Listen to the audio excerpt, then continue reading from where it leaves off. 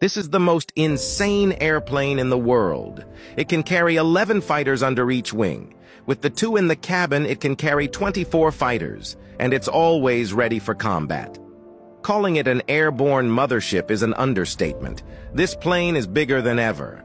With a wingspan of 341 meters, even a skyscraper would have to be embarrassed. The wheels on the landing gear are 2.4 meters in diameter, much taller than an adult. It's equipped with four giant turbofan engines with a thrust of over 200 tons. Compared to a normal passenger jet, it's a pittance. What's even crazier is that this plane is nuclear-powered. Theoretically, it could fly for years, but since the crew needs to replenish food and water, they'd still have to land after a few dozen days.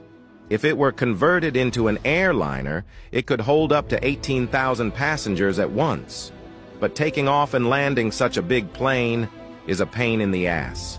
The world's largest airport runway is only 60 meters wide, but there is an option to keep this nuclear-powered plane in the air at all times. When passengers need to board or disembark, they'll be transported by regular passenger planes. If nuclear-powered airplanes are so powerful, why are they still on the drawing board? The main reason is that nuclear reactors can't be miniaturized without avoiding radiation.